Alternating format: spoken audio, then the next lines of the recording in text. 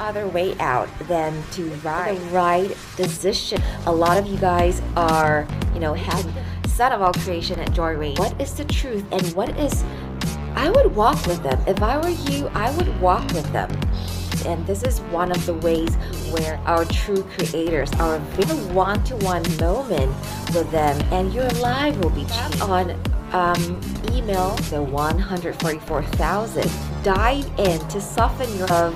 Omniversal, the voice of Mother Father, and one of the easiest way to tune ourselves frequencies on the planet, which is Joy.